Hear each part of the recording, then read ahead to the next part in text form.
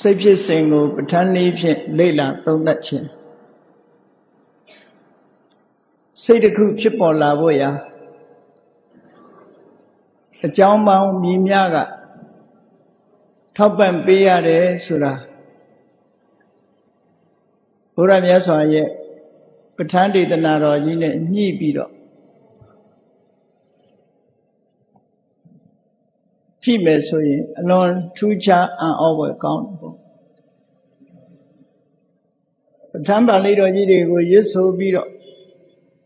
ဘုရားမြတ်စွာရဲ့သဗ္ဗညုတဉာဏ်တော်ကြီးကိုပူဇော်တယ်ဆိုတာဓမ္မကောင်း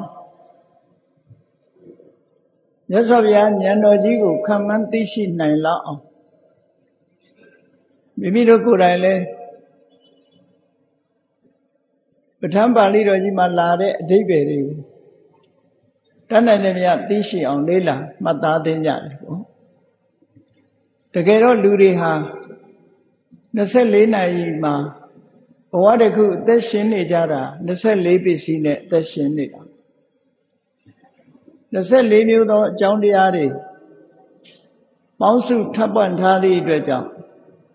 လူတွေရဲ့တဏ္ဍာမှာဖြစ်နေတဲ့ ယုတ်တရားတွေနံတရားတွေဆိုတာစင်ဆက်မပြတ်ဖြစ်ချီပြက်ချီနဲ့ဘဝတစ်ခုလုံးမှာပြတ်ဆဲသွားတယ်မရှိဘဲနဲ့အကြောင်းနဲ့အကျိုးဆက်သွယ်ပြီးတော့ဖြစ်နေတယ်ဆိုတဲ့သဘောတရားကိုပဋ္ဌာန်းတရားတော်နဲ့ဆင်ញင်သုံးသပ်ကြည့်ရင်အကုန်လုံးမသိနိုင်တော့လည်းပဲသိနိုင်တယ်များအမြဲတမ်းကျင့်တတ်အားရစရာကောင်းတယ် အဘိဓမ္မာခုနှစ်ကျမ်းထဲမှာပဋ္ဌာန်းတရားဆိုတာအလွန်ထူးခြားတယ်လို့အာလဘုရားဘာသာဝင် သူတော်စင်တွေသိထားကြတယ်။ဘာဖြစ်လို့လဲဆိုတော့မြတ်စွာဘုရားရဲ့အဓိကတာမုတ်ကံတိကကိုရောရဉာဏ်ဖြင့်သိရှိဟောကြားတဲ့တရားတွေထဲမှာအရေးကြီးဆုံးကသစ္စာ၄ပါးတရားလို့ဒီလိုဆိုတာ သစ္စာလေးပါးတရားဆိုတာအကြောင်းနဲ့အကျိုးအချက်အကြောင်းနဲ့အကျိုးကိုရှင်းပြတဲ့တရားဒေသနာတာဖြစ်တယ်ဘယ်အကြောင်းကြောင့်ဘာတွေဖြစ်ရတယ်အဲ့ဒီအကြောင်းတွေခြုံငိမ့်သွားလို့ရှိရင်ဒီအကျိုးတရားတွေဆိုတာလဲခြုံငိမ့်သွားတယ်အကြောင်းတွေရှိနေလို့ရှိရင်အကျိုးတရားတွေရှိနေမှာပဲဆိုတဲ့ ဒီရှုတော်ကနေမြတ်စွာဘုရားသစ္စာလေးပါးကိုတရားကိုဟောဟောရတဲ့မဲ့သစ္စာလေးပါးကိုပဝတ္တိတဏှာထဲမှာဖြစ်မှုနဲ့ပတ်သက်တာအကြောင်းနဲ့အကျိုးနှစ်ခုနိဝတ္တိတဏှာရဲ့ဖြစ်မှုတွေရပ်ဆိုင်သွားဖို့ရာအတွက်လည်းအကြောင်းနဲ့အကျိုးနှစ်ခုလို့ဆိုပြီးသစ္စာလေးပါးကိုပဝတ္တိသစ္စာနှစ်ခုနိဝတ္တိသစ္စာနှစ်ခုလို့ဆိုပြီးတော့ သစ္စာ၄မျိုးကိုမြတ်စွာဘုရားရှင်းပြထားတာအဗ္ဗဓမ္မဒီကနေ့ကဘာမှာ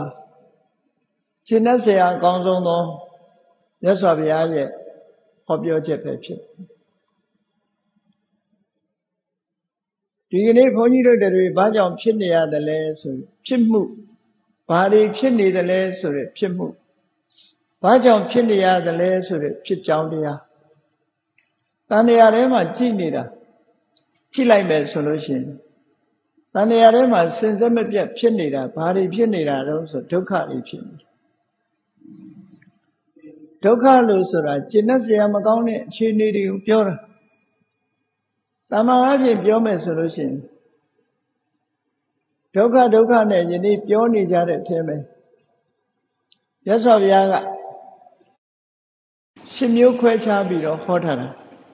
အလုံးသိကြတဲ့အတိုင်းတပည့်စကြာတရားတော်မှာဇာတိပိဒုက္ခစရာပိဒုက္ခဆိုတဲ့လူတွေသိနိုင်စွမ်းမရှိတဲ့ဒုက္ခကိုတန်ခိတ်တေနပစ္စုပါဒနက္ခဏာဒုက္ခလို့ထင်ရှားသိတာတဲ့ဒုက္ခတွေဟောပြီးတော့သိဖို့ခက်ခဲတဲ့ဒုက္ခတန်ခိတ်တေနပစ္စုပါဒနက္ခဏာဒုက္ခလို့ဒီလိုဟောထားတယ် တဏှာမှာဖြစ်နေတာဘာတွေဖြစ်တုံဆိုဒုက္ခတွေပဲဖြစ်နေတာဒုက္ခလို့ဆိုတဲ့ထဲမှာချမ်းသာဒုက္ခတွေမပါဘူးလားဆိုပါတယ်ခန္ဓာ၅ပါးထဲမှာပြောမယ်ဆိုရင်ဒုက္ခဝေဒနာတွေပါတယ်သောဏတဝေဒနာတွေပါတယ်ဒါဖြင့်ဘာဖြစ်လို့ဒုက္ခလို့မြတ်စွာဘုရားကဟောရတယ်လဲလို့ဆို ဘယ်အရာမှမမြဲတာဖြစ်လို့ဒီရှုထောင့်ကကြည့်လို့ရှိရင်အလုံးဟာသာဝရတည်ရှိနေတဲ့သဘောမရှိတော့ကြောင့်ယတနေဆံတန်ဒုက္ခံလို့ဆိုတဲ့အတိုင်းမမြဲလို့ဒုက္ခလို့ဒီလိုပြောလို့လည်းရတစ်ဖက်ကကြည့်မယ်ဆိုရင်ဒုက္ခဆိုဒီမှာဒုဆိုတာဆက်ဆုပ်ရွံရှာပွဲကောင်းတဲ့ခကိုထင်တာတွေဘာတစ်ခုမှမရှိဘူးဆိုတဲ့ ရွံရှာစရာကောင်းပြီးတော့ဘာတစ်ခုမှမရှိတဲ့ကို့အထင်တွေတစ်ခုမှမပါဝင်တဲ့သဘာဝတရားဖြစ်လို့ဒုက္ခလို့ဒီလိုသတ်မှတ်တယ်ခန္ဓာ၅ပါးဆိုတာကြည့်လိုက်မယ်ဆိုရင်လောကမှာရှိသမျှတဲ့ယောဂဝေဒနာတွေတို့ဘေးရန်အန္တရာယ်တွေတို့ဘယ်မှာကြတော့ဆိုခန္ဓာ၅ပါးပေါ်မှာပဲကြခန္ဓာပေါ်မှာပဲဖြစ်လို့ ဒီခန္ဓာ၅ပါးကြီးဟာယွံမုန်းစရာကြီးဆက်ဆုပ်စရာကြီးအန္တရာယ်တွေအားလုံးရဲ့ဖြစ်ပေါ်ရာနေရာကြီးဖြစ်လို့အခုခေတ်မှာကြည့်လေတရားစစ်တာအားဖြံပြူးတဲ့နာမှာရေးထားတယ်ဒိညာရဆိုတဲ့စကားတကယ်ကတော့ဒိညာရဆိုတာခန္ဓာကိုယ်ကမှတကယ်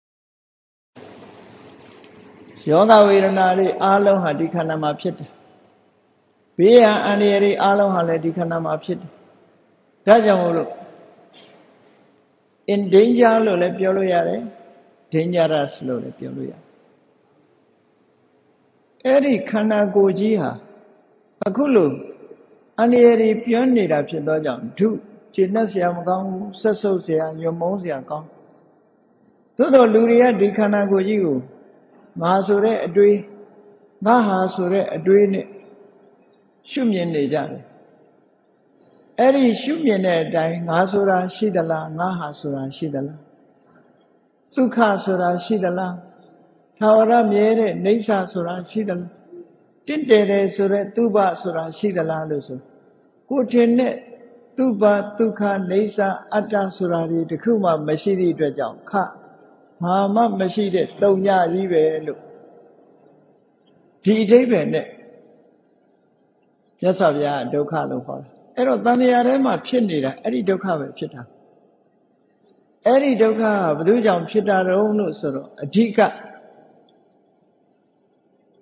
တဏှာဆိုပြီးတော့မြတ်စွာဘုရားယာယံတဏှာပောနုဘူိကာဆိုတဲ့တပည့်ဆက်ကြမှာပါတဲ့အတိုင်းပဲ တဏှာကိုဒုက္ခသမုဒယလို့ဒီလိုမြတ်စွာဘုရားဟောကြားတယ်။ဘာဖြစ်လို့လဲလို့ဆိုရင်တဏှာတစ်ခုတည်းကဘဝကိုဖြစ်စေတာတော့မဟုတ်ဘူး။သို့တော့အဓိကအကြောင်းတရားလို့ပြောရမယ်။တဏှာကလက်ထောက်ချတဲ့နေရာမှာကံတရားကပုတ်ပေးတာ။တဏှာကတွေ့တာလာတဲ့နေရာမှာကံတရားကဖြစ်စေတာ။ဒါကြောင့် တဏှာအချက်ပေးလိုက်တာနဲ့တပြိုင်နက်ကံတရားကဘဝတစ်ခုတွန်းပို့လိုက်တာဖြစ်လို့ဘဝတစ်ခုမှာအဓိကလက်တဲ့ဟာဘယ်သူလဲလို့ဆိုရင်တဏှာပဲဖြစ်နေတယ်မြတ်စွာဘုရားဘုရားပြည့်တို့ရောက်တော်မူတဲ့အချိန်မှာလည်းပဲအနေကဇာတိတန်တရံဥဒန်းကာထာမှာလည်းပဲဒါပါတယ်ပေါ့ကဟကာရကဒိဋ္ဌောတိဆိုတဲ့ခန္ဓာအိမ်ကိုစောင့်နေတာဘယ်သူလဲလို့ဆိုရင်တဏှာပဲ အဲ့တော့တန်တရားကြီးထဲမှာဖြစ်နေတာနဲ့ပတ်သက်ပြီးပဝတ္တိသစ္စာရှုထောင့်ကနေကြည့်လိုက်လို့ရှိရင်ဥပါဒณะခန္ဓာ၅ပါးရဲ့ထိုဥပါဒณะခန္ဓာ၅ပါးရဲ့အဓိကတိဆောက်တဲ့အဓိကအကြောင်းတရားလို့ဆိုရဲတဏှာရဲ့ဟောဒီနှစ်ခုကိုမြတ်စွာဘုရားကရှင်းလင်းပြီးတော့ဟောကြား နောက်တစ်ခါ တဏှာဝကထွက်ချင်ပြီဆိုတဲ့အခါမှာထွက်လန်းရောရှိရလားလို့ဆိုရှိတယ်ဒုက္ခនិရောဓအဲ့ဒီဒုက္ခတွေချုပ်ငြိမ်းသွားလို့ရှိရင်ဒါလွတ်မြောက်ခြင်းပဲဒါဖြင့်လွတ်မြောက်ဖို့ရအတွက်နိလန်ရောရှိလားလို့ဆိုဒုက္ခនិရောဓကာမိနိပฏิပဒါလို့မဂ္ဂင်၈ပါးအကျင့်တရားကိုကျင့်ကြံကြုတ်ကိုအထုတ်ခြင်းဖြင့်ဒုက္ခនិရောဓဆိုတာကိုစိုက်ထိနိုင် တဏှာကိုဖယ်ရှားခြင်းဖြင့်အကြောင်းပြတ်သွားလို့ရှိရင်အကျိုးလည်းရပ်သွားမှာဖြစ်တယ်။ဒါကြောင့်မို့ဒုက္ခကိုဖြစ်စေတတ်တဲ့တဏှာကိုဖြတ်တောက်ပြစ်လိုက်ခြင်းအပြင်ဒုက္ခတွေအလုံးရပ်သွားတယ်။ဘာနဲ့ဖြတ်တောက်တုံးဆိုမေဃသစ္စာနဲ့ဖြတ်တောက်တယ်။အဲ့ဒါကြောင့်မို့လို့နိဝတ္တိသစ္စာဖြစ်မှုတွေကိုရပ်ဆိုင်လိုက်တယ်။ဖြစ်မှုတွေကိုရပ်ဆိုင်လိုက်တာဟာ ဘာနဲ့ရပ်ဆိုင်တာတော့မေဃသစ္စာနဲ့ရပ်ဆိုင်တယ်ဘာကိုရပ်ဆိုင်တာတော့လို့ဆိုရင်ဒုက္ခကိုရပ်ဆိုင်တယ်ဒုက္ခကိုရပ်ဆိုင်တဲ့နေရာမှာဘု து ကိုအရင်ရပ်ဆိုင်ရမလဲလို့ဆိုလို့ရှိရင်တဏှာကိုအရင်ရပ်ဆိုင်ရမယ်ဒီလိုဆိုလိုတာပေါ့နော်အဲ့တော့ဆိုလိုရင်းကဘုရားမြတ်စွာရဲ့အနစ်ချုပ်ဒေသနာဖြစ်တဲ့အမုတ်ကန္တိကဒေသနာဖြစ်တဲ့သစ္စာ၄ပါးဟာ ကြောင်းတဲ့အကျိုးကိုဟောတယ်အကျဉ်းအားဖြင့်အဲ့ဒါကိုထပ်ပြီးတော့ချဲ့လိုက်တဲ့အခါကျတော့ဘာဖြစ်လဲပဋိစ္စသမုပ္ပါဒဖြစ်တယ်ပဋိစ္စသမုပ္ပါဒဆိုတာအကြောင်းတစ်ခုကိုဆွဲမိပြီးအကျိုးတရားတွေကိုထုတ်လုပ်တဲ့အကြောင်းတရားလို့အဓိပ္ပာယ်ရအဲ့ဒီအကြောင်းတရားတွေကထုတ်လုပ်တဲ့အကျိုးတွေကြတော့ပဋိစ္စသမုပ္ပန္နလို့ခေါ်တယ်အကြောင်းကြောင့်ဖြစ်လာတဲ့အကျိုးတရား အဲ့တော့သမုပ္ပါဒနဲ့သမုပ္ပန္နဆိုတာကိုကွဲကွဲပြားပြားမှတ်သားဖို့လိုတယ်ပရိစ္ဆသမုပ္ပါဒဆိုတဲ့စကားလုံးဒီအကြောင်းကိုရည်ညွှန်းတဲ့စကားလုံးပဋိစ္စသမုပ္ပန္နဆိုမှအကျိုးကိုရည်ညွှန်းတယ်လို့ဒီလိုမှတ်သားရမယ်ဒါကိုတချို့ကပဋိစ္စဆိုတာအကြောင်းတရားသမုပ္ပါဒဆိုတာအကျိုးတရားလို့အဓိပ္ပာယ်ရှင်းတာဒါကမှားယွင်းတာမမယွင်းရှင်းလင်းချက်တစ်ခုဖြစ်တယ်။ နောက်အင်္ဂလိပ်လိုပြန်တဲ့အခါကျ dependent origination dependent ဆိုတာပြိဿကိုပြ origination ဆို originating cause လို့ဆိုလိုတယ်ဖြစ်စေတဲ့အကြောင်းတရားကိုပဲဆိုလိုတာအကျိုးကိုပြောချင်တဲ့အခါကျတော့ပြိဿသမုပ္ပန္နလို့ဒီလိုပြောရမယ်ဟောအဲ့တော့အနုလောမပဒီပဝတ္တိသစ္စာကိုရှင်းတာ ပฏิလောမပဋိစ္စသမုပ္ပါဒသည်နိဝတ္တိသစ္စာကိုရှင်းတာဟောသစ္စာကိုအကျယ်ချဲလိုက်တဲ့အခါကျတော့ပြိဿသမုပ္ပါဆိုတာဖြစ်တယ်အနုလောမနဲ့ပฏิလောမအေးဟုတ်ပြီအကျဉ်းအဖြစ်ပြောမယ်ဆိုရင်သစ္စာအဲ့ဒီတဲ့နည်းနည်းချက်ပြောလို့ရှိရင်ပြိဿသမုပ္ပါ တခါပြိဿသမုပ္ပါကိုထပ်ချက်လိုက်မယ်ဆိုရင်ပဋ္ဌာန်းလို့ဒီလိုဖြစ်သွားတယ်နော်ပဋ္ဌာန်းမှာလည်းအကြောင်းနဲ့အကျိုးဒီနှမျိုးပြင်မှာပဋ္ဌာန်းကပရိစ္ဆေသမုပ္ပါမှာအကြောင်းနဲ့အကျိုးနှမျိုးကိုပဲပြောတယ်ပဋ္ဌာန်းရောက်တဲ့အခါကျတော့အကြောင်းတရားရဲ့စွမ်းရည်တတ္တိကိုပါထည့်ပြောတယ်ဘာစွမ်းရည်နဲ့ထောက်ခုပြုတယ်လဲဆိုတာကိုထည့်ပြောဒါကြောင့်မို့အကြောင်းကျိုးကိုရှင်းပြတဲ့ဒေသနာထဲမှာ ပဋ္ဌာန်းဟာအပြည့်စုံဆုံးပဲဖြစ်တယ်ပဋ္ဌာန်းတရားတော်ကြီးကိုဆင်ញင်သုံးသပ်လိုက်တဲ့အခါမြတ်စွာဘုရားရဲ့ဉာဏ်တော်ကြီးဟာအင်တမလည်းနဲ့ကျယ်ဝန်းလာတဲ့ပဋ္ဌာန်းကိုဆင်ញင်သုံးသပ်လို့ဉာဏ်တော်ကြီးနဲ့ပဋ္ဌာန်းလိုက်လျောညီတွေရှိတဲ့အခါအင်တမကျင့်납အာရ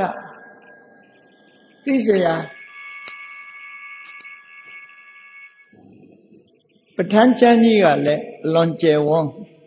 မြတ်စွာဘုရားဉာဏ်တော်ကြီးကလည်းကျယ်ဝန်းသလောက်လိုက်ပြီးတော့သိယာဝတကံညေယံဒါဝတကံညာနံသိเสียရည်များသလောက်ဉာဏ်တော်ကြီးကလည်းလိုက်သိတယ်ဆိုတဲ့အတိုင်းပဲမြတ်စွာဘုရားစိတ်ကြည်နူးမှုတွေကိုပဋ္ဌာန်းကျမ်းဆင်ញင်လိုက်တာနဲ့စိတ်ကြည်နူးမှုတွေရကြည်နူးတဲ့စိတ်က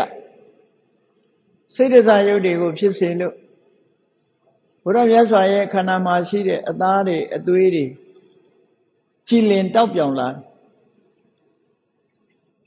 ချင်းမုံပြင်ကိုအယောင်တင်လိုက်တယ်လို့ပဲစိတ်ဆွမ်းအားနဲ့သွေးတွေသားတွေရသော်ဘုရားရဲ့ကိုယ်ကာယမှာရှိတဲ့သွေးသားတွေဟာကြည်လင်တောက်ပြောင်လာတဲ့အခါမှာဖိတ်ဖိတ်တောက်ပြီးအယောင်ထွက်တယ်ဆိုတာအဲ့ဒါပြောတာနော်ဒါကိုရောင် စိတ်တော်ကြောင့်ဖြစ်ပေါ်လာတဲ့ရောင်ချီတော်တွေပေါ်ထွက်ပြီးတော့လာတာဒီပဋ္ဌာန်းကျမ်းကြီးကိုဆင်ញင်သုံးသပ်တဲ့အခါမှာပဲဖြစ်တယ်ပေါ့အဲ့ဒါလောက်နည်းနည်းကျေဝန်းလာတဲ့ပဋ္ဌာန်းကျမ်းကြီးကိုဒီကနေ့စိတ်ဖြစ်စဉ်တစ်ခုပဋ္ဌာန်းကျမ်းကြီးထည့်ပြီးတော့ရှင်းလိုက်မယ်ဆိုလို့ရှိရင်ပဋ္ဌာန်း24ပစ္စည်းလုံးဟာထိုက်တဲ့လို့ စိတ်ဖြစ်စဉ်တစ်ခုထဲမှာအကြောင်းတရားတွေဟာစုပြုံပြီးတော့ဝင်ရောက်သွားနိုင်တယ်ပေါ့အလုံးဝိဓမသင်ဘူးတဲ့ပုဂ္ဂိုလ်တွေဟာစိတ်တဝိဓိလို့ဆိုတဲ့စိတ်ဖြစ်စဉ်ကိုနားလည်ကြတယ်မျက်စိနဲ့အစဉ်ဆုံလိုက်ပြီမျက်စိထဲမှာမိမိတို့မျက်စိလေးနှလုံးဖွင့်လိုက်တာနဲ့ မျက်စိနဲ့ရှေးရှုရှိနေတဲ့မြင်စရာအာယုံလေးဟာမျက်စိမှာလာပြီးတော့အယိတ်ထင်အယိတ်ထင်လိုက်ခြင်းဟာအာယုံနဲ့ဝတ္ထုစုံစည်းမှုပဲဖြစ်တယ်အဲ့ဒီအာယုံဝတ္ထုစုံစည်းလိုက်တာနဲ့တပြိုင်နက်စိတ်ဖြစ်စဉ်တစ်ခုဟာပြောင်းလဲမှုဖြစ်လာအစင်းအာယုံမျက်စိကိုလာထင်ခြင်းသည်မူလအာယုံတစ်ခုပြတ်တော့သွားစေဖို့အကြောင်းတစ်ခုဖြစ်လာ အသိဝင်လာတဲ့အာယုံတစ်ခုကဘဝစိတ်အစဉ်လို့ခေါ်တဲ့မူလစိတ်အစဉ်တစ်ခုကိုလှုပ်ရှားပြီးတော့ဖြတ်တောက်ပစ်လိုက်တာသူ့ရဲ့စွမ်းအားနဲ့ဘဝင်စိတ်ရဲ့အစဉ်ဟာပြတ်တောက်ပြီးတော့သွားအဲ့လိုပြတ်တောက်သွားတဲ့အခါမှာအသိဝင်လာတဲ့အာယုံကိုတကားဖွင့်ပေးတဲ့သို့မဟုတ်ဘဝင်စိတ်ကို ဟန်တာဖြတ်တောက်ပစ်လိုက်တဲ့စိတ်ငါးဓာရမှာထင်းလာလို့ရှိရင်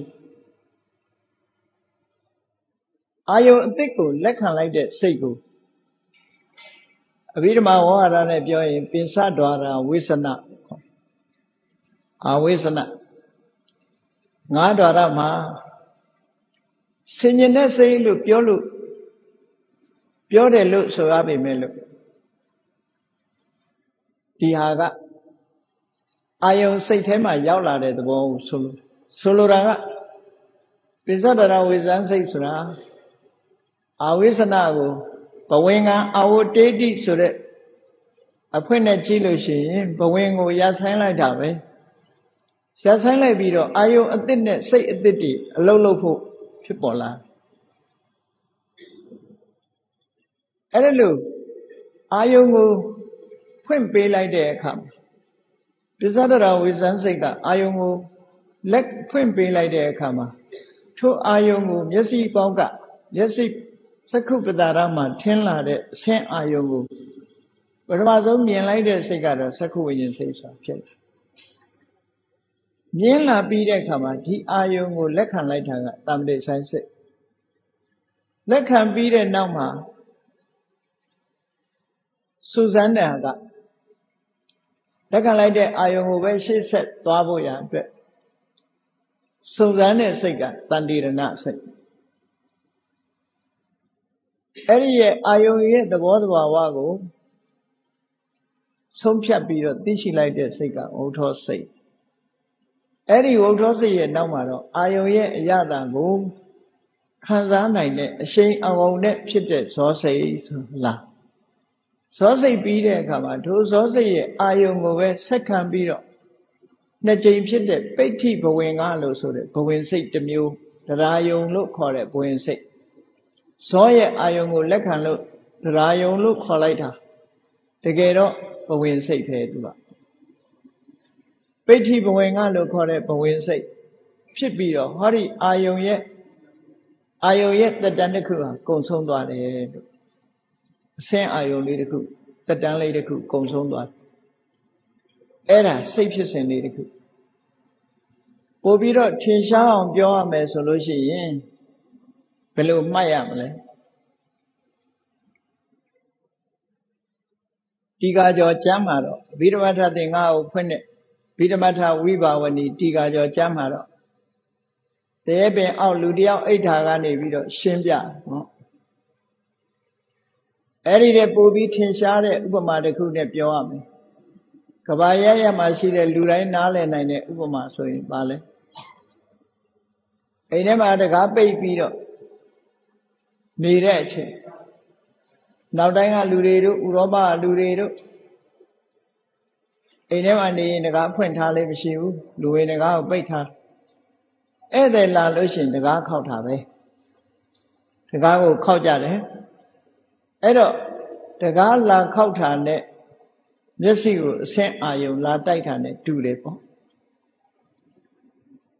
တကားခောက်တန်ကြားလို့တကားကိုထဖွင့်ပေးလိုက်တာနဲ့ပစ္စဒရဝေဇန်စိတ်ဖြစ်တာနဲ့တူတယ်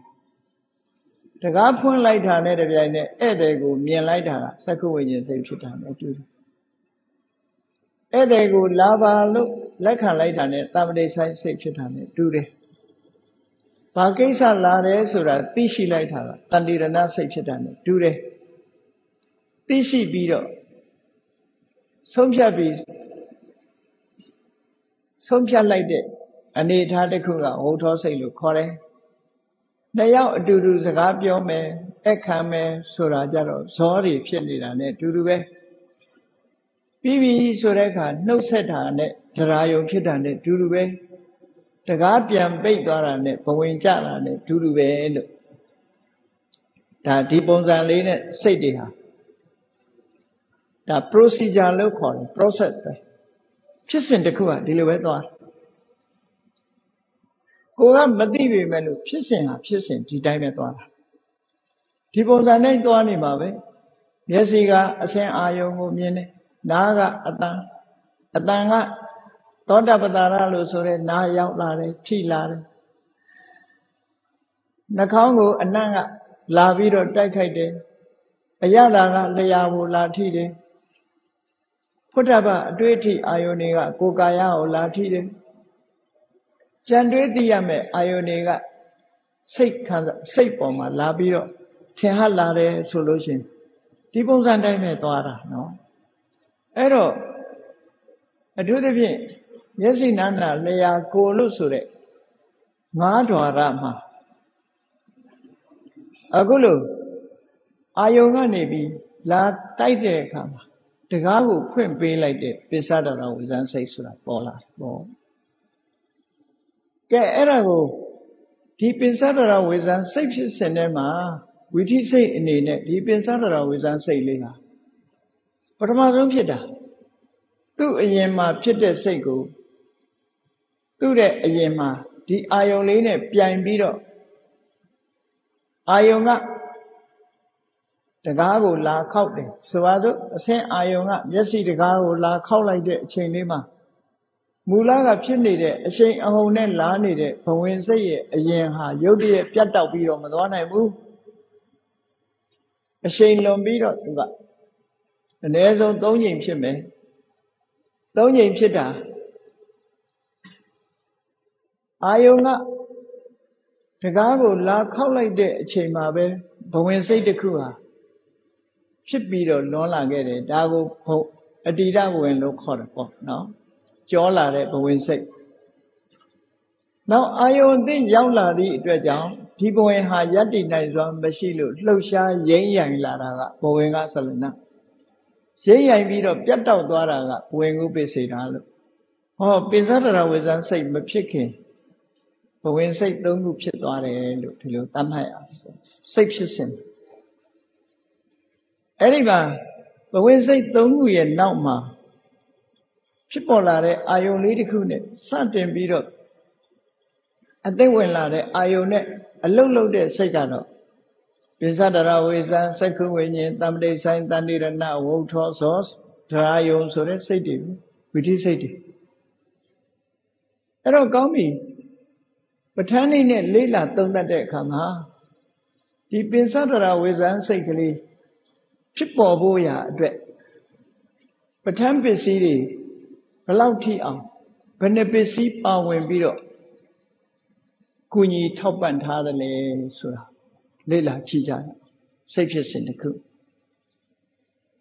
အာယုံကိုစိတ်ဒီတကားဖွင့်ပေးလိုက်တဲ့စိတ်တကားကိုဖွင့်ပေးလိုက်တဲ့ ပစ္စဒရဝိဇန်စိတ်ကလေးဟာဘယ်အကြောင်းတရားတွေကြောင့်အခုလိုဖြစ်ပေါ်လာရသလဲဖြစ်ပေါ်ပြီးတော့ဘာကြောင့်သူ့အချိန်ပိုင်းလေးမှာယက်တိနိုင်ရသလဲဆိုတာတွေပဋ္ဌာန်းရှုထောင့်ကနေပြီးပဋ္ဌာန်းလေးနဲ့လေးလာသုံးသပ်ပြီးတော့ကြည့်ကြတယ်လေးဘက်လေးတန်ကနေပြီးတော့ပဋ္ဌာန်းရှုထောင့်နဲ့ကြည့်လို့ရ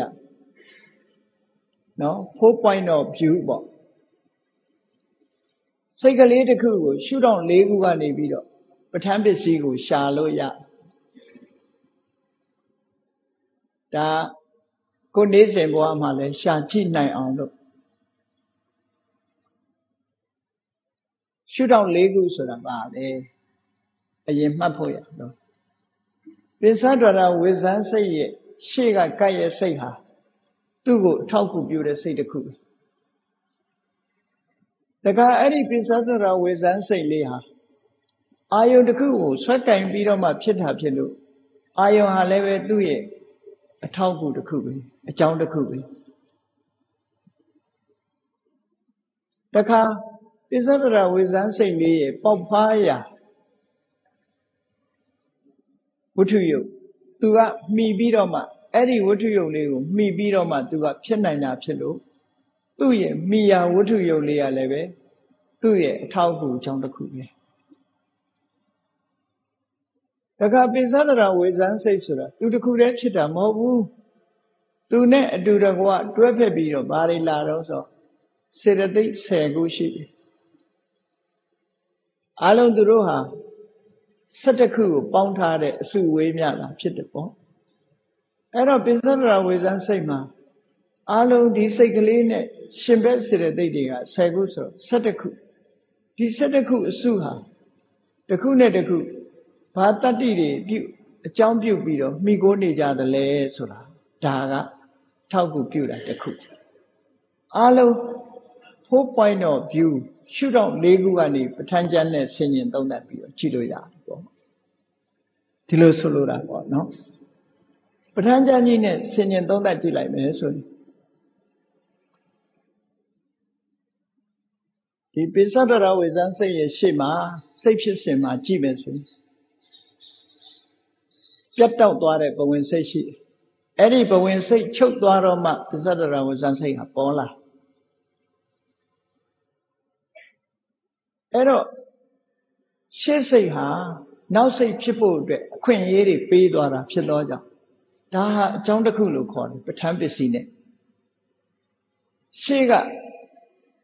ဝင်ခုပစ္စေတာဆိုတဲ့စိတ်ဟာဆက်လက်ပြီးတော့ရှိနေမယ်ဆိုရင်ပိဿဒရဝဇန်စိတ်ဖြစ်နိုင်ခွင့်မရှိဘူး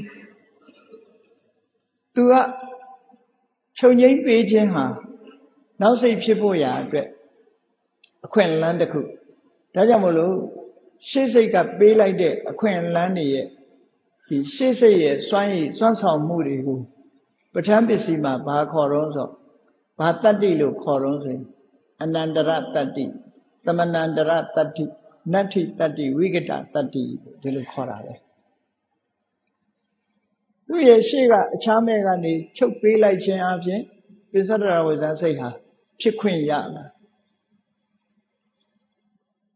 အနန္တရသမဏန္တရ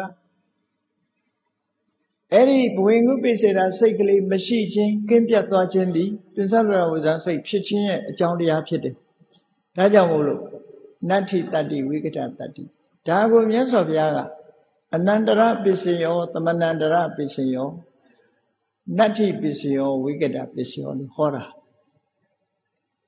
အဲ့တော့ပိဿဒရဝိဇ္ဇာစိတ်ကလေးဖြစ်ပေါ်လာဖို့အတွက်ရှေ့စိတ်ကဒီတတ္တိ၄မျိုးနဲ့အထောက်အကူပြုလိုက်တယ်စွမ်းစွမ်းအင်တစ်ခုပေးအပ်လိုက်တယ်ဖယ်ပေးခြင်းအဖြစ် နေရာဖယ်ပေးခြင်းအဖြစ်ပစ္စဒရာဝေဇန်စိတ်လေးဟာဖြစ်ပေါ်လာရတယ်လို့ဒီလိုဆိုတာနော်အဲ့ဒီနေရာဖယ်ပေးတာကိုလည်းပဋ္ဌာန်းကျမ်းကြီးရှုတော့ကကြည့်တဲ့အခါဟာတတ္တိ၄ခုနဲ့နေရာဖယ်ပေးတဲ့ဘောအဲ့ဒါကိုပဋ္ဌာန်းပစ္စည်းထဲမှာဘာကိုကြည့်မလို့ယေတံယေတံဓမ္မနာအနန္တရာယေယေဓမ္မာဥပ္ပဇံစိတ်တစေရတိကဓမ္မ တေတေဓမ္မာတေတံတေတံဓမ္မနာအနန္တရပစ္စေနပစ္စယောတပတ်ကကြည့်မယ်ဆိုရင်ဟောဒီပိသတ္တရဝေဇစိတ်ကကုသိုလ်မဟုတ်ဘူးအကုသိုလ်မဟုတ်ဘူးပိသတ္တရဝေဇစိတ်ဆိုတာကရိယာပြာကတစက္ခုဝိညာဉ်စိတ်ကအဲဘဝင်စိတ်ကလည်းဝိပါကအပြာကတအပြာကတပဲအဲ့တော့ ပုရိမာပုရိမာအပြာကတာဓမ္မာပစ္စည်းမာနံပစ္စည်းမာနံအပြာကတာနာဓမ္မနာအနန္တရပစ္စေနာပစ္စယောဟောရှေးကအပြာကတတရားတစ်ခုဒီနောက်ကအပြာကတတရားတစ်ခုဖြစ်ဖို့အတွက်အနန္တရတတ္တိသမဏန္တရတတ္တိနတ္ထိတတ္တိဝိကတတတ္တိနဲ့ခြေစပြုတယ်လို့ဒီစိတ်ကလေးတစ်ခုဖြစ်တာတဲ့ပဲဟောဒီမှာရှေ့ပိုင်းကအ ਨੇ ဆုံးတတ္တိ၄ခုရ ဒီပိစ္ဆဒရာဝဇန်စိတ်ကလေးဖြစ်ဖို့ရဟောဒီစွမ်းရည်တတ္တိ၃ခုကအခွင့်အလမ်းတစ်ခုဖန်တီးပေးထားတယ်အကယ်၍သာသူတို့ကဖန်တီးမပေးဘူးဆိုရင်ဟောဒီပိစ္ဆဒရာဝဇန်စိတ်ဖြစ်နိုင်စွာမရှိဘူးဒါဖြင့်သူတို့ဖန်တီးပေးုံနဲ့ဖြစ်ပြီလားလို့ဆိုရင်ဖြစ်သေးဘူးဒီဒီလေးပစ္စည်းကအခြေအနေတခုဖန်တီးပေးတာပဲရှိသေးတယ်အဲ့တော့ပိစ္ဆဒရာဝေဇန်စိတ်ကလေးကဘာကြောင့်ဖြစ်ပေါ်လာရတယ်လဲလို့ဆိုလို့ရှိရင် ဆင်းအာယုန်တစ်ခုအာယုန်ပြုတ်ပြီးတော့ဖြစ်ပေါ်လာဆင်းအာယုန်တစ်ခုအာယုန်ပြုတ်ပြီးဖြစ်ဒီနေရာမှာရူပယုံတတ္တယုံခန္ဓာယုံရတ္တယုံဖုဒ္ဓဘာယုံလို့ဆိုတဲ့အာယုံ၅မျိုးဟာပစ္စဒရာဝဇန်စိတ်ဖြစ်ဖို့ရာအတွက်အာရမဏတတ္တိနဲ့သူကခြေစုပြုပြန်ယံ ယံဓမ္မအာရဘယေဓမ္မဥပ္ပဇ္ဇန္တိစေရစရတိကဓမ္မတေတေဓမ္မတေတံတေတံဓမ္မနာအာရမဏပစ္စေနပစ္စေဟောဆိုတဲ့မှာကြည့်သို့မဟုတ်ရူပယရဏံတတ္တယရဏံခန္ဓာယရဏရတ္တယရဏဖုဒ္ဓဘာယရဏမနောဓာတုယတန်တမျိုးရကနိသဓမ္မနာအာရမဏပစ္စေနပစ္စေယော မျက်စိမှာအစင်းအာယုံလေးကလားထင်တယ်ဆိုလို့ရှိရင်ရူပယတနာအဲ့ဒီအစင်းအာယုံလေးသည်မနောဓာတ်လို့ဆိုတဲ့ဟောဒီပင်စတရာဝိဇန်စိတ်ကလေးဖြစ်ဖို့ရအတွက်အာရမဏတတိနဲ့ခြေစွပြုတယ်လို့ဒီလိုပြောတာနော်သူရှိနေတော့ခြေစွပြုတာဖြစ်သောကြောင့်အာရမဏတတိနဲ့ခြေစွပြုလို့အာရမဏပစ္စယော ရှိနေတော့ခြေစွပြုတာမို့အဋ္ဌိပစ္စယောမပြောက်ွယ်ပင်မှာခြေစွပြုတာဖြစ်သောကြောင့်အဝိကတပစ္စယောဆိုဟောအနည်းဆုံးဒီသုံးခုပါဒါရင်လားဆိုမကဘူးဒီအာယုန်လေးကဘယ်ချိန်ကဒီရူပါယုန်အဆင်းအာယုန်လေးဟာဘယ်ချိန်ကစတင်ပြီးတော့မျက်စိထဲမှာထင်ဟပ်လာတာတော့ဆိုတော့ဟောဒီပိစဒရာဝေဇန်စိတ်ကလေးမဖြစ်ခင် စိတ်သုံးခုပထမဘဝင်စိတ်နဲ့ပြိုင်ပြီးတော့အတ္တဘဝင်စိတ်နဲ့ပြိုင်ပြီးတော့ဖြစ်တာဆိုတော့စိတ်သုံးခုလောက်သူ့တဲ့စောတယ်ပေါ့ပိစဒရာဝေဇန်ဆိုတဲ့စိတ်က၄ခုမြောက်စိတ်ဆိုပါစို့သူ့တဲ့အရင်အတ္တဘဝင်ဝင်ငါဆလနာဘဝင်ကိုပစ္စေတာဆိုတဲ့ဘဝင်စိတ်၃ခုရှိတယ်အဲ့ဒီပထမဘဝင်စိတ်နဲ့ အတ္တဘဝင်ဆိုတဲ့စိတ်နဲ့ပြိုင်တူပြီးတော့ဖြစ်ပေါ်လာတာဖြစ်လို့အဆင်းအာယုံလေးကပိစဒရာဝေဇန်စိတ်တဲ့စောပြီးတော့ဖြစ်လာတာကျွတ်တင်ပြီးတော့ဖြစ်နေတာစောပြီးဖြစ်တာကိုပုရိသတာလို့ခေါ်တယ်ပိစဒရာဝေဇန်စိတ်မဖြစ်ခင်ကဟောဒီအဆင်းအာယုံလေးကအရင်ဖြစ်နေနေတာဒါကြောင့်အာရမဏပစ္စယောပြင်ပုရိသတာပစ္စယောဆိုတာလည်းပါလာပြန်တယ်ပေါ့ဟော ကျွတ်တင်ပြီးတော့ခြေစုပြုအာရမဏပုရိသတာနော်အာရမဏပစ္စယပုရိသတာပစ္စယအဋ္ဌိပစ္စယအဝိကတပစ္စယဒီအာယုန်လေးတက်တန်းဟာတရားယုံဒုတိယမြောက်တရားယုံစိတ်ချုပ်မှသူကချုပ်မယ်18ချက်အသက်ရှိမယ်ဆိုတော့အဲ့တော့သူကတက်တန်းရှိနေသေးတယ် ပိဿဒရာဝိဇန်စိတ်ဖြစ်တဲ့အခါမှာသူကစိတ်တဲ့ရုပ်ဆိုတော့ပို့ပြီးတော့တက်တန်းကြာတယ်ပေါ့အဲ့တော့သူရှိနေတော့ပိဿဒရာဝိဇန်စိတ်ကလေးဖြစ်ဖို့ရာအတွက်အာရမဏတတ္တိနဲ့ခြေစပြုလိုက်တာဒါကြောင့်မို့အဓိကအာရမဏတတ္တိကြိုတင်ဖြစ်လို့ပုရိသဒတတ္တိရှိနေတော့ခြေစပြုလို့အဋ္ဌိတတ္တိမပြောင်းကွယ်သွားခင်ခြေစပြုတာဖြစ်သောကြောင့်အဝိကတတတ္တိတဲ့ကဲ ကြည့်ပိဿဒရာဝိဇန်စိတ်ကလေးဖြစ်ဖို့ရာအတွက်ရှေ့ကစိတ်မှာတတ္တိ၄မျိုးနဲ့ထောက်ကူပြုထားပြီအခုတခါကြည့်လိုက်တဲ့အခါအကျမ်းမြင်အပြင်ပြောဆိုတတ္တိ၄မျိုးနဲ့တခါအာယုံဘက်ကနေကျေစုပြုထားရှစ်ခုရှိသွားပြီနော်ကဲဒီစိတ်ကလေးတစ်ခုဖြစ်ဖို့ရာအတွက်အထောက်ကူတွေဘယ်လောက်လိုအပ်တယ်လဲဆိုတာစဉ်းစားကြည့် ဒီစိတ်ကလေးဟာအမတမတူတောင်းတဲ့အချိန်ပိုင်းလေးမှာဖြစ်တဲ့ဒီစိတ်ကလေးကိုဖြစ်ပေါ်ဖို့တောင်မှအမတမခဲရင်နေဖြစ်လာပြီးတော့လည်းပဲအချိန်ပါမှမကြာခင်ပျက်စီးသွားတဲ့ဟာပဲအဲ့ဒါကိုပဲဖြစ်ဖို့ရာအတွက်အကြောင်းတွေကအများကြီးဝိုင်းအောင်ထားတယ်ရှင်းစကအခွင့်အရေးပေးလိုက်တယ်အာယုံကဒီစိတ်လေးကိုဖြစ်ပေါ်လာစေတယ်ဒါဖြင့်အာယုံကသူတခုတည်းဖြစ်စေတာလားလို့ဆိုမဟုတ်ဘူး ဒီပိဿဒရာဝေဇန်စိတ်ကလေးဟာသူမိစရာမရှိဘဲနဲ့သူကမဖြစ်နိုင်ဘူးသူကဘာကိုမိရတာတုံးဆိုဟရိယဝတ္ထုဆိုတဲ့ဝတ္ထုယုတ်တစ်မျိုးကိုမှီရမှသူကဖြစ်နိုင်တယ်အနုဘဆိုသူမဖြစ်နိုင်ဘူးလေးဘက်လေးတန်ကကြည့်ရမှာနော်ရှေ့စိတ်ကတစ်ခုအာယုံဘက်ကတစ်ခု ရှေ့စိတ်ဘက်ကရှုထောင့်ကကြည့်ရင်တစ်ခုအာယုံဘက်ကရှုထောင့်ကကြည့်တာတစ်ခုသူ့ရဲ့မိယာဝတ္ထုယုတ်ဘက်ကကြည့်တာတစ်ခုအဲ့ဒီမှာဟရိယဝတ္ထုဆိုတဲ့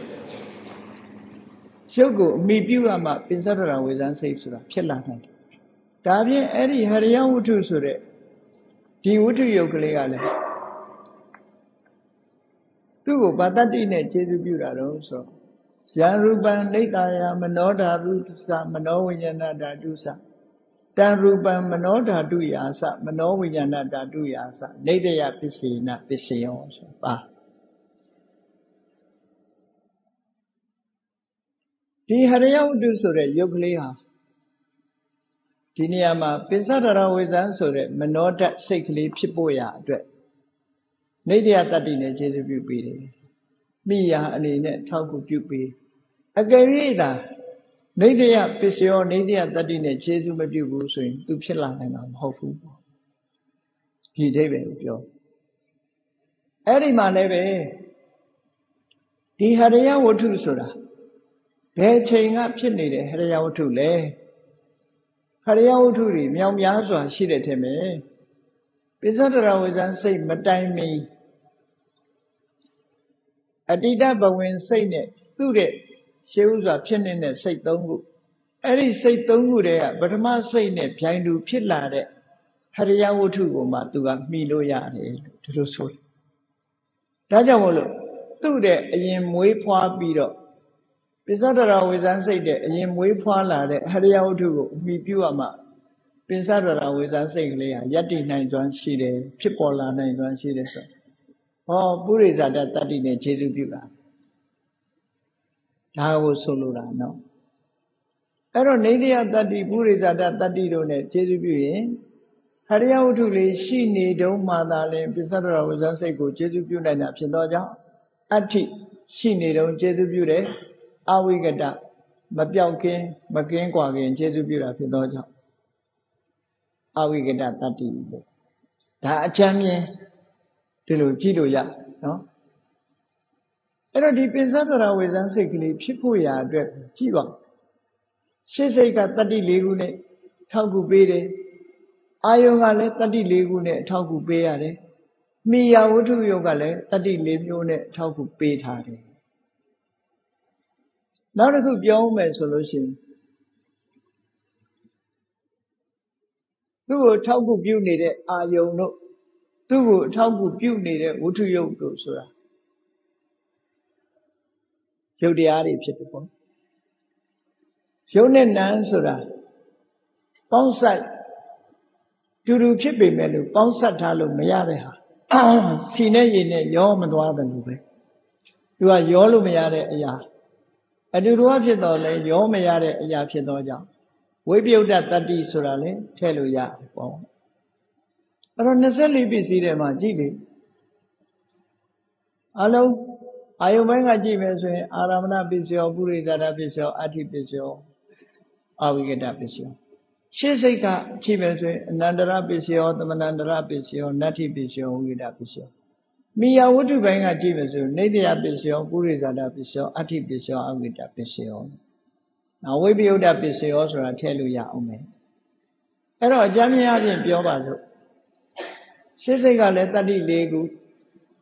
အာယုံကလည်းတတ္တိ၄ခုမိယဝတ္ထုယုတ်ကလည်းတတ္တိ၄ခုဆိုနဲတဲ့အကြောင်းတရားတွေလားဖြစ်စေတာနော်အဲ့တော့ရှုထောင့်၃ခုကအကြောင်းတရားတွေကနေပြီးတော့အခုလိုပံ့ပိုးလိုက်မှ ဖြစ်ပေါ်လာတဲ့ဒီပင်စဒရာဝေဇန်းစိတ်ကလေးရဲ့သူနဲ့ရှင်မောရှင်ဘက်အတူတကွပေါင်းဆက်ပြီးတော့နေတဲ့စေတသိက်10ခုရဲ့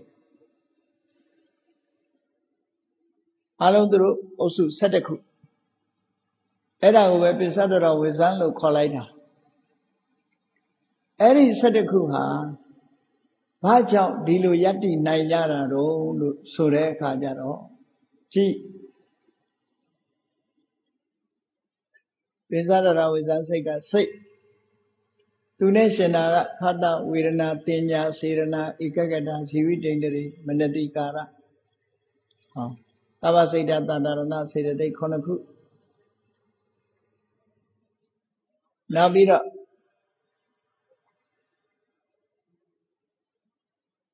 ဝိတေဝိสารအဓိမောက္ခဒီ၃ခုပေါင်းလိုက်တဲ့အခါကျတော့10ခုစေရသိက်10ခုရဲ့ပစ္စဒရဝဇန်စိတ်ဒါအဘိဓမ္မာသင်ထားတဲ့ပုံကိုယ်တွေတော့လွယ်လွယ်ကူကူနားလဲတယ်ပေါ့နော် ဘယ်ရာပဲဖြစ်ဖြစ်တခုတည်းမဖြစ်ဘူးအလုံးစုနေတာကြည့်ကိုယ့်ရဲ့မျက်လုံးလေးပဲကြည့်အောင်မျက်စိအကြည်လေးဟာသူတခုတည်းဖြစ်တာမဟုတ်ဘူးမျက်စိအကြည်လေးမှာဘာယုတ်တွေနဲ့တွဲဖက်ဖြစ်တယ်ဆိုပထဝီအာဝတေဇောဝါယောဆိုတဲ့ဓာတ်ကြီးလေးပါပါတယ်ဝဏကန္နရတဩဇာဆိုတဲ့ဥပါဒယုတ်၄ခုပါတယ်ဇီဝိတဆိုတဲ့ကမ္မဇယုတ်တွေကိုထိမ့်သိမ်းဆောက်ရှောက်တဲ့ ဒီယုတ်ပါအဲ့တော့ဒီပတာရယုတ်လေးဟာဒီယုတ်၉ခုနဲ့ပေါင်းစပ်ပြီးတော့မှအုပ်စုလေးတစ်ခုအနေနဲ့ဖြစ်တာအဲ့တော့မျက်စိမှာ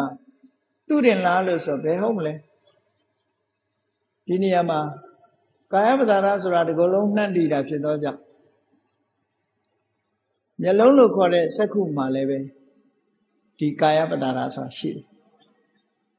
ကာယပဒါရရှိလို့မျက်စိရဲ့အမိုက်ဝင်ရင်နာတာပေါ့ကျိန်းတာဆက်တာပေါ့ဟောကာယပဒါရရှိလို့သိတာပဲ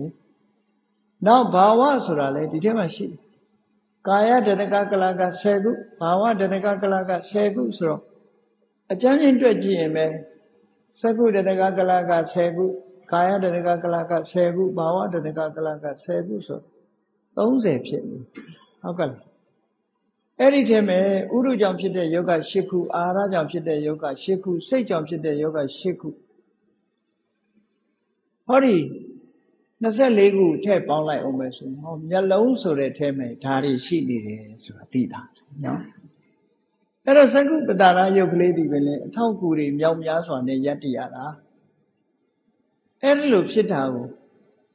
အကြောင်းတရားပေါင်းမြောက်များစွာကနေဖန်တီးပေးထားတာဖြစ်တော့ကြောင့် သင်္ခတတရားတဲ့အကြောင်းတွေကစုပေါင်းပြီးတော့ထုတ်လုပ်ထားတာလို့ဆိုတာအခုဒီပိဿဒရဝိဇ္ဇန်စိတ်ကလေးလည်းကြည့်အကြောင်းပေါင်းမြောက်များစွာအထောက်ကူပြုနေတယ်သူဖြစ်လာဖို့အတွက်အာယုံရှိတယ်ဝတ္ထုရှိတယ်ရှေ့စိတ်တွေကနေရာဖယ်ပေးတယ်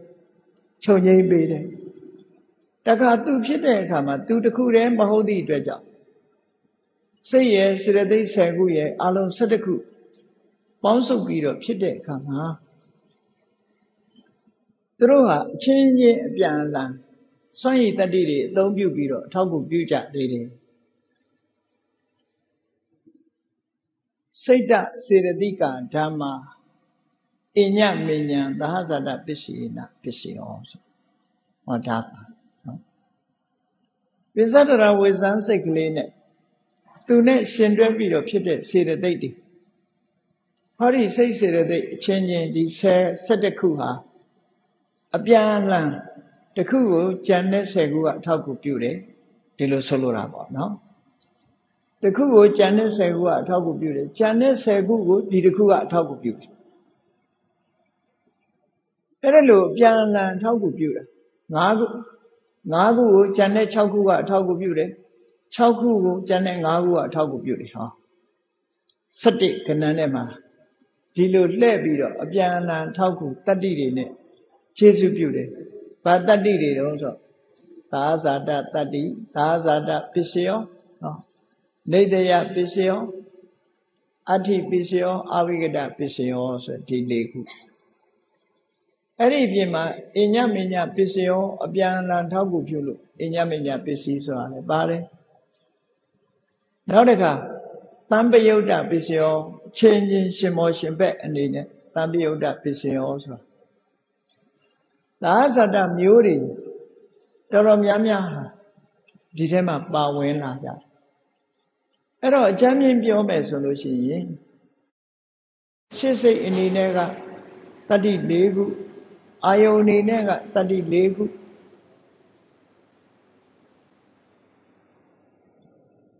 မိယာဝတ္ထုအနေနဲ့ကတတ္တိ၄ခု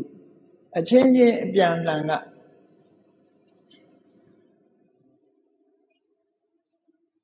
6ခုဆိုပါစို့နော်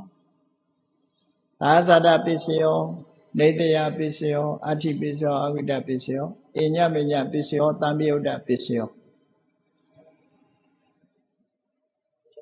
ဒါအကြမ်းမြင့်ပေါ့အဲ့တော့ပေါင်းလိုက်မယ်ဆိုလို့ရှိရင် ဒီပင်စတရာဝေဇန်စိတ်ဆိုတဲ့စိတ်ကလေးတစ်ခုဖြစ်ဖို့ရာအတွက်ယက်တည်ဖို့ရာအတွက်ပဋ္ဌာန်းပစ္စည်းပေါင်းဘလောက်ကျေစုပြုရတယ်လဲဆိုတာစဉ်းစားကြည့်ပေါ့မြတ်စွာဘုရားကဒါကိုဟောတာပဲပဋ္ဌာန်းကျမ်းကြီးထဲမှာဒါတွေကိုဟောနေတာနော်အဲ့တော့ပဋ္ဌာန်းပဋ္ဌာန်းနဲ့ဆိုတာလူတွေရဲ့တဏ္ဍာမှာရှိတဲ့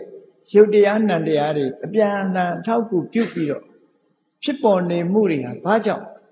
ဖြစ်နေရတယ်ဆိုတာတွေအကြောင်းတရားနဲ့ဆက်ဆက်ပြီးတော့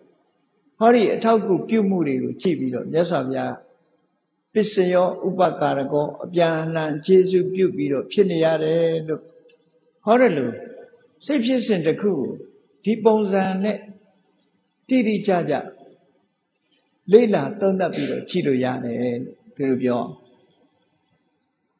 အဲ့ဒီကနေတခါ ဆက်ပြီးတော့ကြည့်လိုက်သက္ကုဝိညာဉ်ဆိုတဲ့မြင်သိစိတ်ကလေးဖြစ်လာတာပဲကြည့်အောင်ဒီမြင်သိစိတ်ကလေးကိုသက္ကုဝိညာဉ်ဆိုတဲ့မြင်သိစိတ်ကလေးပေါ်လာဖို့ရအတွက်ဘယ်သူကအထောက်အကူပြုတော့ဆိုအခုပြောတဲ့ပင်စတရာဝေဇန်စိတ်လေးကချုပ်ငိမ့်ပေးခြင်းအပြင်ခြေစွပြုတယ်ပင်စတရာဝေဇန်စိတ်ကသက္ကုဝိညာဉ်စိတ်ကို အနန္တရတတ္တိသမဏန္တရတတ္တိနတ္ထိတတ္တိဝိကတတတ္တိနေရာဖယ်ပေးလိုက်တာနေရာဖယ်ပေးတာသို့တော်လဲပိစ္ဆဒရာဝေဇန်စိတ်နဲ့သက္ကုဝိညာဉ်စိတ်ဟာတွေ့ကြတာမဟုတ်ဘူးသက္ကုဝိညာဉ်စိတ်ကလည်းပိစ္ဆဒရာဝေဇန်စိတ်ကိုမသိဘူးပိစ္ဆဒရာဝေဇန်စိတ်ကလည်းသက္ကုဝိညာဉ်စိတ်ကိုမသိဘူးရှင်းနောက်အနေနဲ့သာဖြစ်သွားကြတာ သူတို့ချင်းချင်းဆုံစည်းမှုလည်းမရှိဘူးနော်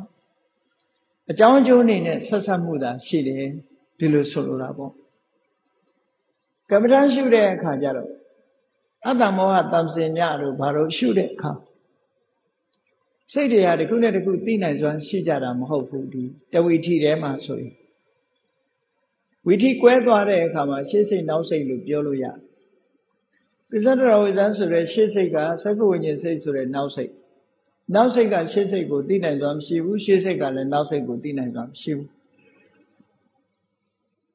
အဲ့တော့သူချုပ်ငိမ့်ပေးခြင်းအဖြစ်မြင်သိစိတ်လို့ဆိုရဲစက္ကဝိညာဉ်စိတ်လေးဟာပေါ်လာနိုင်တယ်ပေါ့အဲ့ဒီမှာလဲတတ္တိအ ਨੇ ဆုံး၄ခုနဲ့ခြေစုပ်ပြုလိုက်တခါစက္ကဝိညာဉ်စိတ်ကလေးဟာအာယုံရှိတော့ကကြည့်လိုက်လိမ့်မယ်ဆိုရင်သူ့ကြည့်သူ့ဟာသူဖြစ်လာတာမဟုတ်ဘူးဘာကြောင့်ဖြစ်လာတော့ဆို ရူပါယုံလေးကစက္ခုပတာရကိုလာထင်ဟပ်လို့ဖြစ်တာထင်ဟပ်လာတဲ့အာယုံလေးကိုအာယုံပြုတ်ရမှသူကဖြစ်လာဒါကြောင့်မို့ပဋ္ဌာန်းကျမ်းမှာလေရူပယရဏံသက္ခဝိညာဏဓာတုယတန်တမြုတ်တကနိသဓမ္မနံအာရမဏပစ္စေနပစ္စယောရူပယရဏရူပယရဏလို့ဆိုတဲ့အစင်းရုပ်ကလေးဟာ သက္ခဝိညာဏဓာတုယသက္ခဝိညာဏဓာတ်အား၎င်းတန်တမြုတ်တကာနံသဓမ္မနံထိုသက္ခဝိညာဏဓာတ်နဲ့ရှင်တွဲပြီးတော့ဖြစ်တဲ့ဖတ်တဝေဒနာတင်ညာစေရဏဧကဂတဇီဝိတိန်တွေမနတိကာရလို့ဆိုတဲ့သဝစိတ်တသာဒရဏစေရတိခုနှစ်ခုတို့အား၎င်းအာရမဏပစ္စေနအာရမဏပစ္စယတတ္တိဖြင့်ပစ္စယောဥပကာရကောခြေစုပြုတတ်တယ်လို့ဟော ပဋ္ဌာန်းရွတ်တဲ့ခါကျကြားလိုက်ရူပယရဏသက္ခဝိညာဏဓာတုယတန်တမြုတ်တကနိသဓမ္မနာအာရမဏပစ္စေနပစ္စယောဆိုဟောအာရမဏတတ္တိနဲ့ခြေစုပြုလိုက်တာသက္ခဝိညာဉ်စိတ်လေးပေါ်ဖို့ရူပယုံကအကြောင်းပြုอ่ะတခါအဲ့ဒီရူပယုံဆိုတဲ့အဆင်းအာယုံလေးဒီသက္ခဝိညာဉ်စိတ်မပေါ်ခင်ကျွတ်တင်ပြီးတော့စိတ်၄ခုစောပြီးတော့သူကပေါ်လာ ပိစတရာဝိဇ္ဇစိတ်တုံးက၃ခုစောတယ်ခုက၄ခုစောတယ်၄ခုစောပြီးပေါ်တာဖြစ်သောကြောင့်ရူပယရဏသက္ကဝိညာဏဓာတုယတန်တမြုတ္တကနိသဓမ္မနံပုရိသတာပစ္စေနပစ္စယောရှေးဥစွာဖြစ်တယ်ဘွန်းအာလိယအရင်မွေးထားဒီအာယုံယုံလေးကသက္ကုဝိညာဉ်စိတ်လေးတဲ့ကျွတ်တင်ပြီးတော့မွေးဖွားထားတာဖြစ်တော့ကြောင့်ပုရိသတာတတ္တိနဲ့ခြေစုပြုတယ်ဒီလိုဆိုတာပေါ့ အဲ့တော့အာရဝဏပုရိသတာအဋ္ဌိအဝိကတာဆိုတဲ့ဒီတတ္တိ၄ခုနဲ့ဟောဒီသက္ကုဝိညာဉ်စိတ်လေးဖြစ်ဖို့ရအတွက်အထောက်အကူဖြစ်တယ်တပန်ဒီသက္ကုဝိညာဉ်စိတ်လေးဟာမိယာမပါဘဲနဲ့မဖြစ်နိုင်ဘူးသူ့ရဲ့မိယာဝတ္ထုယုတ်ကဘာတော့ဆိုရင်သက္ကုပတာရလို့ခေါ်တဲ့သက္ကုဝတ္ထုယုတ်ကိုမိပြီးတော့ဖြစ်တယ်အဲ့ဒီသက္ကုဝတ္ထုယုတ်ကလေးဟာလည်းပဲ ကျွတ်တင်ပြီးတော့ဖြစ်နေတာဖြစ်တယ်အဲ့ဒီသက္ကုဝတ္ထုယုတ်လေးကိုမိရတာဖြစ်သောကြောင့်သူကသက္ကုဝတ္ထုယုတ်ကလေးကိုအမိပြုပြီးတော့ဖြစ်ရတာဖြစ်သောကြောင့်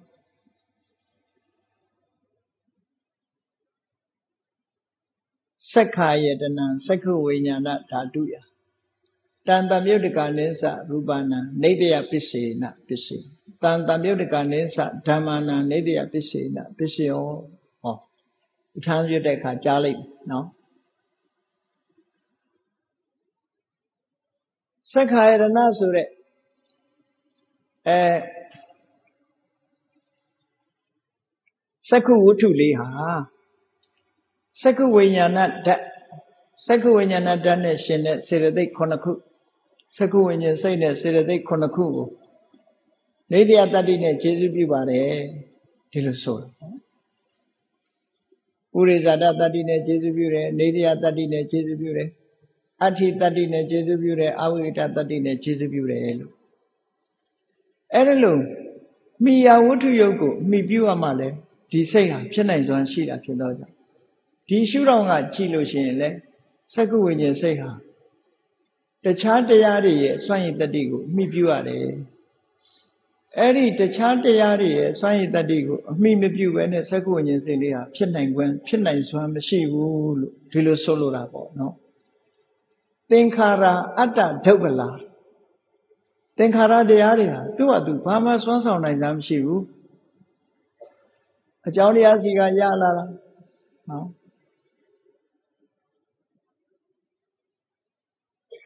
အကြောင်းတရားကြောင့်ဖြစ်လာတာ ဟေတုံပဋိစ္စတံပုတာဟေတုပင်္ဂနေရုစတိအကြောင်းတရားကိုမှီပြီးတော့မှသူတို့ဖြစ်နိုင်ကြခုစက္ကဝိညာဉ်စိတ်လေးကလည်းအကြောင်းတရားကိုအာယုံဆိုတဲ့အကြောင်းတရားဝတ္ထုဆိုတဲ့အကြောင်းတရားဒါတွေမှီပြီးမှသာဖြစ်နိုင်ဟေတုပင်္ဂနေရုစတိအကြောင်းချုပ်သွားရင်သူလည်းချုပ်သွားမှာပဲစွန့်ရည်တတ္တိဘာမှသူတို့မှမရှိဘူးလို့သင်္ခါရ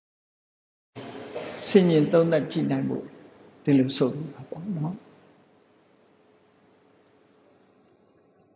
ဟောတော့တကသက္ကဝိညာဉ်စိတ်လေးဟာသူတို့အပြန်အလှန်အထောက်အကူဖြစ်တာတွေမပါဘဲနဲ့လေသူတူးတဲ့မယက်တိနိုင်ဘူးသက္ကဝိညာဉ်စိတ်ဖြစ်လိုက်တာနဲ့တဝစိတ်တသာဒရဏစေတသိက်9ခုဆိုတာလေးကပါလာအဲ့ဒီခုနှစ်ခုကလည်းသူကိစ္စသူဆောင်ရွက်ကြတယ်စဉ်းစားကြည့် မြင်တယ်လို့ဆိုတဲ့နေရာမှာမြင်သိစိတ်လို့ဖြစ်ဖို့ရအတွက်မြင်တယ်လို့ပြောရအောင်ဘယ်သူတွေကထောက်ကူပြုပေးလဲဆိုတော့စေတသိက်တွေကနေပြီးတော့စွမ်းဆောင်မှုပေးရစိတ်ကလေးတစ်ခုဖြစ်ရင်ကြည့်ဖတ်တာဆိုတာကစိတ်နဲ့အာယုံဆုံဖို့ရလုပ်ပေးရတယ်ဖတ်တာကအာယုံကိုနော် စိတ်နဲ့ဆက်သွယ်ပေးတယ်အဲ့လိုစိတ်သွယ်ပေးတဲ့အခါစိတ်ကအာယုံရဲ့အတွေ့အကြုံရသွားတယ်ဆက်သွယ်ပေးတာကဖတ်တာဝေဒနာကအတွေ့အကြုံဟောဝေဒနာဆိုတာကအတွေ့အကြုံရစေတယ်တင်ညာဆိုတာကမှတ်တမ်းတင်ပေးတယ်စေရနာဆိုတာအလုံးကိုစုစည်းပြီးတွန်းအားပေးတယ်ဧကကတာဆိုတာ ဒီအစင်းအာယုံလေးတစ်ခုတည်းပေါ်မှာစုပြုံနေအောင်လုပ်ပေးတယ်ဇီဝိတ္တရေဆိုတာဒီတဘာဝတရားတွေဒါမျိုးဖြစ်ရင်နောက်ထပ်ထပ်ဖြစ်နိုင်အောင်သူကထိမ့်သိမ်းဆောက်ရှောက်ပေးတယ်မနတိကာရဒီအာယုံပေါ်မှာဥတီဥလှဲ့ပေးတယ်လို့ဆိုဟောတဘာဝတရားတွေဟာသူ့ဟာနဲ့သူစုပေါင်းပြီးတော့အလုံးလုံးလိုက်ကြတာဒီအာယုံတစ်ခုတည်းပေါ်မှာအလုံးလုံးတာအဲ့ဒီအတူတကွအလုံးလုံးကြတဲ့ စကုဝိညာဉ်စိတ်ရဲ့ဖတ်တာရဲ့ဝေဒနာရဲ့တင်ညာရဲ့စေရနာရဲ့ဧကဂတရဲ့ဇီဝိတ္တရိရဲ့မနတိကာရရဲ့ဆိုတဲ့ဒီတဘာဝတရားတွေဟာအချင်းချင်းအပြန်အလှန်အတူတကွဗျိုင်းတူမွေးဖွားလာတာဖြစ်သောကြောင့်သာသတတတ္တိနဲ့ခြေစုပြုကြတယ်သာသတပစ္စယောအပြန်အလှန်မိခိုကြရတာဖြစ်သောကြောင့်နေတယပစ္စယောရှိနေတော့မှအထောက်အကူပြုကြတာဖြစ်သောကြောင့်အဋ္ဌိပစ္စယော အင်းရင်ခြေစုပြုကြတာဖြစ်သောကြောင့်အဝိကတပစ္စယောအပြန်အလှန်ထောက်ကူဖြစ်တာဖြစ်သောကြောင့်အညမညာပစ္စယောရှင်တွဲလျက်ခြေစုပြုတာဖြစ်သောကြောင့်ရှင်တယ်ဆိုတာမိယာဝတ္ထုတစ်ခုပေါ်မှာမိပြီးတော့အာယုံတစ်ခုပေါ်မှာအလုတ်လုတ်တဲ့အခါမှာဖြစ်တာလဲတပြိုင်နဲ့ချုပ်သွားတာလဲတပြိုင်နဲ့ဆိုတဲ့ဒီအချက်၄ချက်နဲ့မိယာဝတ္ထုတူရမယ် ရှင်းရှုတဲ့အာယုံကတူရမယ်ဖြစ်ချိန်တူရမယ်ပြက်ချိန်တူရမယ်အဲ့ဒီတူလေးတူနဲ့ရှင်တွဲထားလို့သံယုတ်တပစ္စယောလို့ဟောအကျမ်းများအပြင်ကြည့်ရင်ကိုပဲနဲတဲ့ပစ္စည်းတွေမဟုတ်ဘူးနော်ဒီမျက်စိမှာပေါ်လာတဲ့မြင်သိစိတ်ကလေးတစ်ခုဖြစ်ဖို့ရာအတွက်ခုလိုထောက်ကူလေးဖြစ်တယ်လို့ဟောစိတ်စဉ်နဲ့အကုန်လုံးဝီထိတစ်ခုလုံးကိုစိတ်ဖြစ်စဉ်တစ်ခုလုံးကို ပဋ္ဌာန်းနည်းနဲ့အကုန်ကြည့်လိုက်မယ်ဆိုလို့ရှိရင်အင်မတန်မှရှင်းရှင်းကြီးသဘာဝတရားတွေရဲ့အနေအထားကိုမြင်ကြရမှာဖြစ်တယ်အဲ့ဒီလိုမြင်ခြင်းအပြင်ဘယ်လိုအသိဉာဏ်တွေရလာနိုင်တယ်လဲလို့ဆိုလို့ရှိရင်ခုနပြောတဲ့အကြောင်းတရားကိုမှမိတည်ပြီးတော့ဖြစ်ကြရတဲ့ဟေတုံပဋိစ္စတံဗုဒ္ဓဆံရဆံရအကြောင်းကြောင့်သာဖြစ်ကြရတယ် ဟေတုပင်ကနိရောစတိအကြောင်းချုပ်လို့ရှိရင်ချုပ်သွားကြရတယ်ဘယ်အရာမှမမြဲဘူးအချင်းချင်းယုတ်တရားပဲဖြစ်ဖြစ်နံတရားပဲဖြစ်ဖြစ်တကယ်တော့စွန့်ရင်တတ္တိသူ့ဘာသူမရှိကြဘူးအလုံးပေါင်းစပ်လိုက်တော့မှစွန့်ရည်တတ္တိဖြစ်လာတယ်လို့ဆိုတဲ့သဘာဝတရားတွေကိုကြည်ခြင်းအဖြစ်တို့တွေရဲ့တဏ္ဍမှာဖြစ်တဲ့ယုတ်တရားတွေနံတရားတွေဟာအခုလို့ အကြောင်းတရားတွေကထောက်ပံ့ထားတာပါလားဘာနဲ့အလားတရံတူတုံးဆိုရင်အဖျားလေးပေါ်မုံငင်းစိတင်ကြည့်ပါလားလက်ကလွတ်လိုက်တာနဲ့ပြုတ်ကြမသွားဘူးလားလက်ကလွတ်လိုက်တာနဲ့ပြုတ်ကျသွားမှာအဲ့ဒါလိုပဲဒီစိတ်ကလေးတွေဟာလဲဆရာဆရာအကြောင်းတရားလေးတွေကထောက်ကူပြုတုံးလေးပဲဖြစ်တာလက်လွတ်လိုက်တယ်လို့ပဲအကြောင်းတရားငြိမ့်သွားတာနဲ့ချုပ်သွားတာနဲ့သူတို့လည်းချုပ်ပြောက်သွားကြတယ်ဆိုတော့ ဝိပဿနာဉာဏ်နဲ့ကြည့်လိုက်မယ်ဆိုလို့ရှိရင်မမြဲတဲ့အနိစ္စသဘောတရားဟာအမြဲတမ်းထင်ရှားလာတယ်ပေါ့ဒီလိုအကြောင်းတရားတွေကအထောက်အကူပြုထားပြီမဲ့လို့မမြဲတဲ့သဘာဝတရားတွေဟာအင်တာမထင်ရှားလာပြီးတော့သင်္ခါရတရားတွေဟာအာကိုးစရာဆိုတာတခုမှမရှိဘူးအခုလိုအနေအထားမျိုးနဲ့ထွတ်တွေဟာယက်တည်နေကြတာဆိုတာ အင်မတန်မှရှင်းတယ်အကြောင်းတရားတွေပေါ်မှာမိတီပြီးတော့ယက်တီနေကြရတာဖြစ်တော့ဒီအကြောင်းတရားတွေပျက်စီးသွားတာနဲ့တပြိုင်နက်ဒီတရားတွေဟာလည်းပဲပျက်စီးပြီးတော့သွားတယ်မမြဲတဲ့သဘာဝကိုဆင်ញင်စဉ်းစားပြီးတော့ဘဝကြီးပေါ်မှာတံဝေကဖြစ်ပြီးကြောက်လန့်တုံလို့တဲ့တံဝေကဉာဏ်တွေဖြစ်ပေါ်လာပြီနောက်ဆုံးမှာဝိပဿနာဉာဏ်အစဉ်စဉ်တက်လို့သင်္ခါရတရားတွေရဲ့နောက်ဆုံးပိတ်ဖြစ်တဲ့ သင်္ခါရတရားတွေချုပ်ငြိမ်းသွားတဲ့သင်္ခါရတရားတွေရဲ့ဆုံးဆုံးသက်ဖြစ်သွားတဲ့ဆုံးသက်မှတွေ့ရမယ်နိဗ္ဗာန်ဆိုတာသာလင်တကယ်အငြိမ့်တတ်ဖြစ်တယ်ဒီသင်္ခါရတရားတွေထဲမှာအငြိမ့်တတ်ဆိုတာရှာလို့မရနိုင်ဘူးသင်္ခါရဏအပ္ပုတ္တိသင်္ခါရတရားတွေမရှိမှသာငြိမ့်အေးမယ်သင်္ခါရတရားတွေရှိနေသမျှတော့အန္တရာယ်ကြီးပဲလို့ကိုစီကိုစီသဘောကျပြီးတော့ ပဋ္ဌာန်းနီးနဲ့စိတ်ဖြစ်စဉ်တစ်ခုကိုပဋ္ဌာန်းနီးနဲ့လိလသုံးသပ်ဆင်ញင်ပြီးတော့ဝိပဿနာဉာဏ်นี่ဖြစ်ပေါ်လာအောင်ကျင့်ကြံကြိုးကုပ်အားထုတ်နိုင်ကြပါစေကုန်သတည်း